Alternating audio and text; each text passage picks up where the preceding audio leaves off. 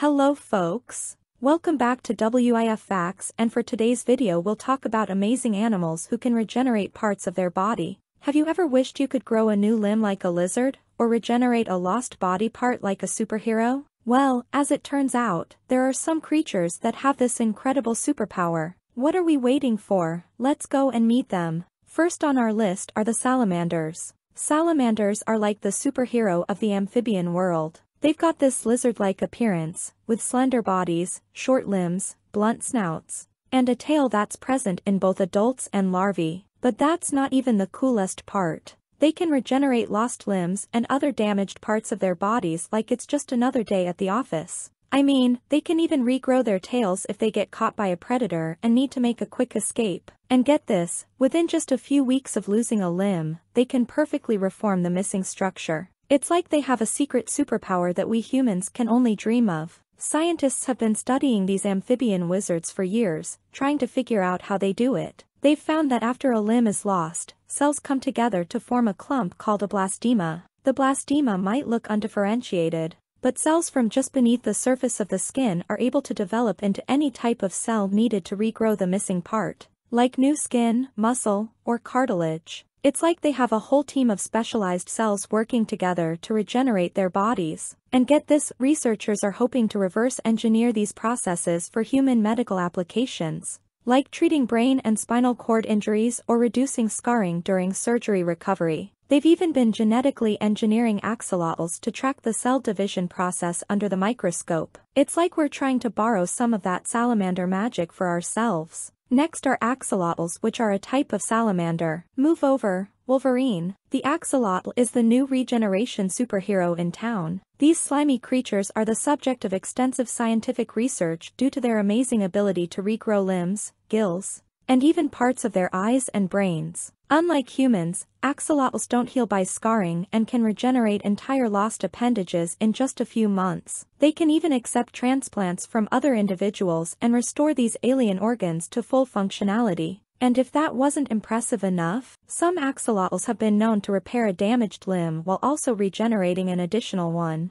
resulting in an extra appendage that makes them the envy of pet owners everywhere. Sure, the axolotl may lose some of its regeneration powers as it matures, but it's still the perfect model for studying limb development in vertebrates. Researchers are constantly discovering new insights into how the axolotl's unique internal system regulates macrophage levels and suppresses inflammation to prevent scarring and promote proper healing. With cutting-edge technologies like germline modification and transgenesis, Scientists can now even live image the regenerative processes that occur in axolotls. So, let's give it up for the axolotl, the ultimate regeneration champion. Next are the geckos. Geckos, like many other lizards, have the ability to shed their tails in defense, a process called autotomy. This allows them to escape from predators as the predator attacks the wriggling tail. Unlike mammals, the lizard tail includes a spinal cord and many lizards can detach a portion of their tail to avoid a predator and then regenerate a new one. A recent study has found that the spinal cord of the tail contains a large number of stem cells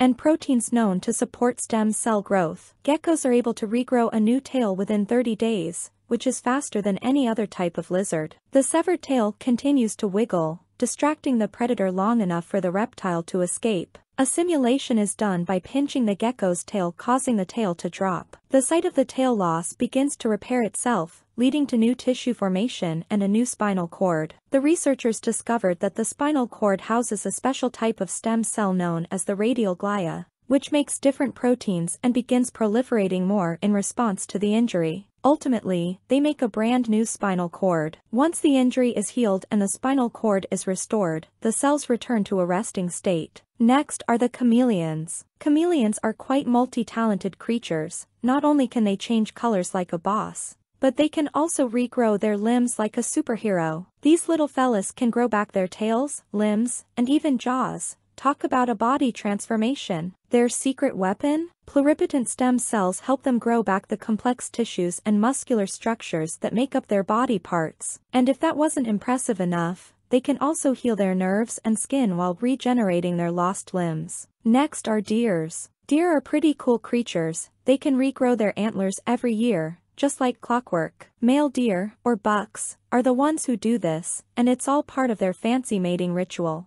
It's like they're saying, look at me, I can grow antlers, I must be a great catch. The antlers start growing in the spring, and by late summer or early fall, they're fully grown and covered in velvet, which sounds like a fancy coat made of blood and nutrients. But here's the catch, once the mating season is over, the bucks shed their antlers like they're dropping their mic after a great performance. Then they just grow them back all over again. It's like a never-ending cycle of antler regrowth and shedding, all thanks to the hormones testosterone and estrogen. And get this, if a deer loses their antlers in a fight, or because it got shot at, yikes, it can still regrow them. They're like the Wolverine of the animal kingdom but with antlers instead of claws. Their secret weapon? A diet packed with calcium and phosphorus, which they get from munching on grass, insects, berries, nuts, and whatever else they can find. It turns out that genetics also play a role in how quickly deer can regrow their antlers. If their dad had big antlers, they're likely to have big antlers too, and regrow them faster. It's like they have a secret antler growing formula that they pass down from generation to generation. Next are alligators. Alligators are also reptiles but it was unclear whether they had the ability to regenerate their tails, which can be up to 15 feet long and weigh up to 1,000 pounds. However, a recent discovery shows that young American alligators can regrow their tails up to 9 inches or around 18% of their body length. The researchers found that alligator tails regrow cartilage, connective tissue, and skin instead of bone and skeletal muscle. This ability is greater than that of mammals, which mostly regrow nerves, skin, and blood vessels, but less than lizards, which can sprout nearly perfect tails with skeletal muscle. The researchers believe that regrowing a tail is energetically expensive and can take away from other essential developmental processes. However, for young alligators, regrowing a lost tail can have significant fitness benefits since they need a tail to elude predators and survive their most vulnerable years. This study also raises questions about how regeneration evolved in reptiles and has implications for developing regenerative therapies for humans. Next are spiders. Spiders are basically living tanks, with their bodies encased in a super tough exoskeleton, but as they grow, they need to ditch their old armor to make room for a bigger one. This process is called an instar, and a spider can go through more than 20 of these before becoming a full-fledged adult. But shedding their skin isn't just for looks, it also allows spiders to regenerate lost body parts. For instance, if a spider loses a leg, it can grow a new one as long as it still has at least one more molt left. However, the new leg is often a bit scrawnier and shorter than the original and it might take a couple of molts before it's back to its full glory. But spiders don't stop at legs, they can also regrow other important bits like pedipalps, mouth parts, and silk spinners. Next are Kemp's spiny mouse. If you thought shedding skin was just for snakes and lizards, think again. The spiny mouse is one of the coolest mammals out there because it too can shed its skin. Not only that, but it can completely regenerate any damaged tissue like it's no big deal, hair follicles, skin, sweat glands, fur, and even cartilage. Talk about a handy trick. To achieve this magical feat, spiny mice form clusters of cells called blastema all over their exposed flesh, which helps them grow new skin with fur and without any scarring. And let's just say that when scientists try to grab these mice, they often end up with just a handful of skin in their hands. Yep, these little critters are so good at shedding their skin that they use it like a banana peel. And they're the only mammals known to do so. Next are the cockroaches. Cockroaches are the true survivors, rumored to outlast even a nuclear war. But let's not get ahead of ourselves, they're not indestructible. While they can regrow their limbs, they can't grow a new head. Sorry, cockroaches, looks like you'll have to keep your noggin attached. Baby roaches, or nymphs, are the real MVPs when it comes to regeneration. They can regenerate tissues following major injuries, but even they have their limits. Extensive damage to tissues and muscles can leave cockroaches unable to regenerate, but don't worry, if your favorite cockroach loses a limb, it can grow back just as strong as the original. It will take a few molts, but it's worth it to have your six-legged friend back in action, and it's all thanks to their complex DNA, which gives them advantages like limb regeneration and the ability to adapt and survive. Next are starfish. Starfish are the ultimate escape artists, capable of shedding limbs at will to evade predators. But don't worry, they can grow back those missing arms with time. Some starfish can even regrow an entire new limb from a single arm, while others need a bit of help from the central disc. It's like a DIY project, but for your body, just be patient, because regrowth can take months or even years. And let's not forget the risk of infection during those early stages, starfish are basically walking petri dishes. But fear not, a separated limb can live off stored nutrients until it regenerates a disc and mouth. Because who needs food when you can just feed off your own body? All in all, starfish are pretty amazing creatures, even if they're a little too good at breaking themselves apart. Next are zebrafish. Zebrafish have amazing regenerative abilities. They can even regrow their heart and lateral line hair cells in their early stages, thanks to some fancy signaling pathways like Notch and WNT. And if they suffer an injury to their photoreceptor cells or retinal neurons, they can call on their trusty sidekick, Muller Glia, to help them regenerate. Scientists have been so impressed with the zebrafish's abilities that they've been tinkering with their genes to create transgenic strains, and they've even found that zebrafish use a special protein called fibroblast growth factor to ensure that their spinal cords heal without any unsightly scarring. Next are jellyfish specifically the Turritopsis dohrnii. Have you heard of the immortal jellyfish, Turritopsis dohrnii? It's the world's most indestructible creature, move over, cockroaches. This tiny jellyfish is biologically immortal and can revert back to its youthful,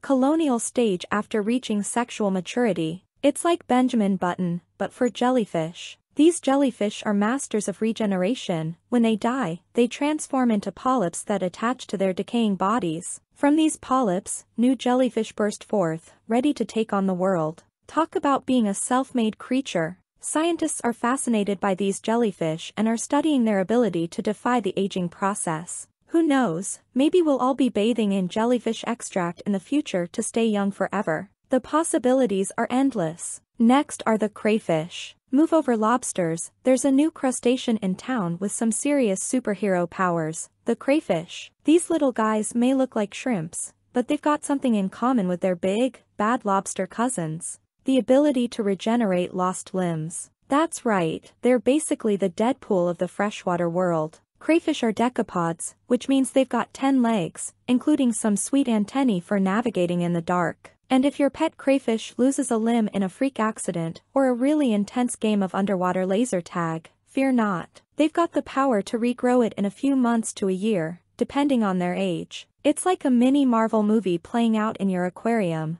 Of course, the process of regeneration is no joke. Crayfish have to shed their exoskeletons and molt to heal, which can take some time. So don't be surprised if your crayfish is looking a little less impressive in the claw department for a while. But hey, at least they're still alive and kickin'. And get this, Crayfish are so confident in their regenerative abilities that they'll sometimes voluntarily sacrifice a limb if it means saving their own shell. It's like they're saying, I am crayfish, hear me roar. Or maybe just, I am crayfish, watch me regrow. Either way, these little guys are not to be underestimated. Next are the catfish. Did you know that catfish have whiskers too? Yep, those fancy looking things are actually called barbels in scientific terms. And the reason they're called catfish? Well, it's because those barbels bear a striking resemblance to a feline's whiskers. Mind blown, right? But here's the catch, those precious barbels can get injured and cut short. So, the big question is, can they grow back? The good news is that catfish are pretty resilient creatures and can regrow their barbels if they get snipped or fall off. But here's the thing, whether they'll grow back or not depends on a few factors, like water quality, fish age, and nutrition. So, it's like a game of chance. Here's the deal, if you want to increase the chances of regrowth, you need to provide your catfish with the right environment and grub. Trust me, it's like hair regrowth for fish. Just remember that the barbels won't grow back if they're broken off too close to the nerve endings. Ouch! That would be like you losing a finger. So, give them time, be patient, and maybe throw in some motivational fishy speeches to cheer them on. Next are the sea cucumbers. Sea cucumbers are like the odd ones out in their family, the echinoderms.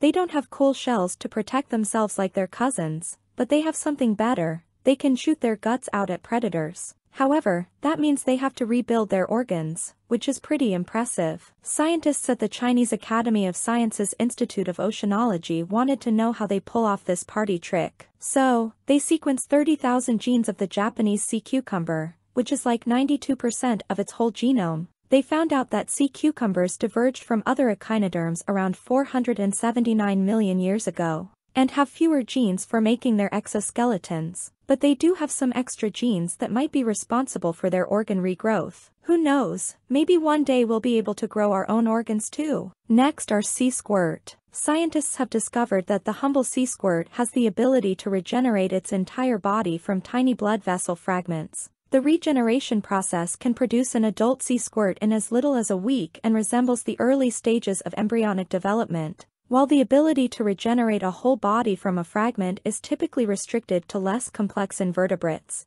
The sea squirt Botrylloides leachii has proven to be capable of massive regeneration, despite being a more complex invertebrate. Each colony of sea squirts is composed of thousands of genetically identical individuals connected by a network of blood vessels. By removing fragments of blood vessels from the colonies and placing them on microscope slides for investigation, the scientists found that 80 out of 95 fragments regenerated an entire functional adult within 1 to 3 weeks. The sea squirts did not employ blastemas, which are tissue that forms right at the place where regeneration of an organ or body is needed. Instead, regeneration began from dozens of tiny compartments loaded with stem cells, which the researchers dubbed regeneration niches. The regeneration niches helped form a hollow sphere that folded over and over again, developing chambers and organs, eventually resulting in adults capable of sexual reproduction. Next are the sea slugs. So, imagine this, a sea slug's head is just casually circling its detached body in a tank. Talk about bizarre behavior. The scientist who stumbled upon this thought the slug was a goner, but instead of dying,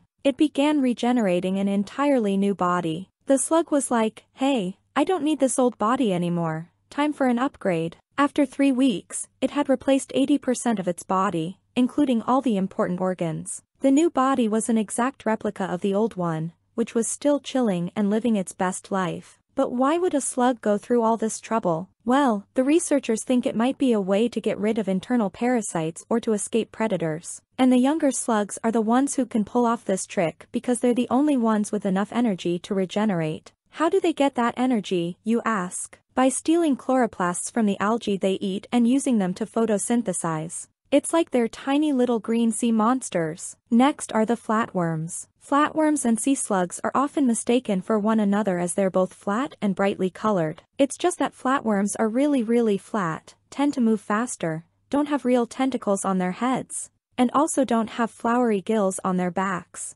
Flatworms specifically the planarians are well known for their remarkable ability to regenerate any part of their body. After amputation, a feat made possible by a vast number of pluripotent stem cells, scientists have developed a new method to analyze the composition of planarian stem cells and the turnover of their proteins, with the goal of understanding the mechanisms that enable these creatures to maintain their stem cell pool across generations. As a result of their research, they have identified a protein that is not only necessary for maintaining the stem cell population in planarians, but that may also be active in the pluripotent stem cells of mammals. Next are the sharks. It is unexpected, but sharks have the ability to renew their teeth, though they lack the capacity to regenerate their organs or other bodily structures like some of the other animals mentioned in this list. Throughout their lifetime, sharks can lose at least 30,000 teeth, but each one can regrow in a matter of days to months, enabling a single shark to regenerate its teeth up to 50 times. If researchers can uncover the mechanism behind this regenerative process, it could lead to significant advancements in the field of dentistry. Next are the hydra. Hydra is a type of small freshwater organism belonging to the phylum Cnidaria and class Hydrozoa. The genus was named after the hydra, a mythical creature defeated by Heracles that could regenerate its many heads if they were cut off. Much like the organism's regenerative ability, scientists are particularly interested in Hydra because they seem to be immortal and do not age. The organism has two main structures, the head and the foot. When a hydra is cut in half, each half can regenerate into a new hydra, with the head growing a new foot and the foot growing a new head. Even if the hydra is sliced into multiple pieces, the middle slices can still form a head and a foot. This regeneration occurs without cell division and is explained by the presence of positional value gradients. Hydras can also reproduce through budding, with a new individual forming around two-thirds down the body axis. Additionally, they can regenerate from tissue pieces or dissociated single cells, which then form two epithelial cell layers and undergo a patterning process to form heads and feet. Next are the Mexican tetra. Did you know that the Mexican tetra has a superpower? It can actually regenerate its own heart tissue after a major injury. But hold on, it gets even crazier. It turns out that the regenerative power depends on the morphotype, with some capable of it and others not so much. In a lab study, scientists found that the river morphotype could repair its heart, while the cave morphotype just generated scar tissue. Who knew fish could be so picky about their heart regeneration abilities? The researchers found that two specific genes, ERK10 and caveolin, were responsible for the different response patterns. And get this, the ERK10 gene has regenerative powers in other species too, like the zebrafish. But by inhibiting the expression of these genes, the Mexican tetra loses its regenerative abilities. So basically, if you want to keep your regenerative powers intact, don't mess with ERK10 and caveolin. But the fun doesn't stop there. Reproductive crosses between the river and cave morphotypes revealed that regenerative abilities are inheritable. So, this gene could be the key to heart repair not just for fish, but also for mice and humans. Looks like the Mexican tetra might just have something to teach us about healing our hearts. Next are the conch. Conch, those slow-moving, herbivorous, marine gastropods, have large and sophisticated camera-type eyes located at the ends of long, flexible stalks. Impressively, conches possess an incredible ability to regenerate their eye tissue. They can regrow a lost eye within just a few weeks, much faster than other gastropods. Not only can conches regenerate their eyes, but they also have the ability to produce pearls in various colors, such as white, brown, orange, and pink. Queen conches usually live up to 7 years, but some species can live for as long as 20 to 30 years. As conches age, their shells become thicker, so the thickness of a conch's shell is a good indicator of its age. While conches are often known for the beautiful sounds of their empty shells, they also have interesting features while still inside their shells. Next are tadpoles. If a tadpole happens to lose its tail before it becomes tailless by nature, it has the superpower to regrow it like it never lost it. As with most creatures, younger frogs and tadpoles have more stem cells compared to older ones. The tadpole experiences a metamorphosis, and it goes through an array of changes during its early stages of life. All the stem cells in the tadpole's body go into overdrive, changing and molding its shape and abilities in a hurry. In their skin, they have a type of stem cell called regeneration organizing cells. These cells are like the Gandalf of the tadpole world, organizing and directing the regeneration process. It's incredible how tadpoles show us the power of stem cells and their potential to bring about massive changes in an organism's body. Next are the octopus. Octopuses are not only one of the smartest creatures on the planet, but they're also quite the master of regeneration. When their limbs are amputated, they don't just sit there and sulk like a human would. Instead, they stay active for about an hour, even trying to feed themselves with the lost limb. However, it takes much longer for an octopus to regrow its limb than for a lizard to regrow its tail. A fully functional tentacle can take up to 100 days to regrow, but the wait is worth it, as the regenerated tentacle is often even better than the original. No wonder they say that an octopus never loses a fight, it just grows a new arm and comes back swinging. Last on our list are human fingertips. Although other species have demonstrated impressive regenerative abilities, humans are still at an early stage in the field. Nonetheless, there have been some successes in regenerating fingertips, particularly in children. Research on mice has shown that they can regrow their claws successfully if a small portion remains after amputation. Furthermore, scientists have recently discovered a connection between nail stem cells and human fingernails which may explain why fingertips have a better chance of regrowing if some of the nail or cuticle base remains intact. Like hair, fingernails continue to grow even in adulthood well, at least we hope they do, requiring a steady supply of specialized cells to form their sturdy structures. With these findings, who knows, maybe we're already on the verge of regenerating limbs right at our fingertips. And that's it for today's video. Thank you for watching, and I'll see you in the next one.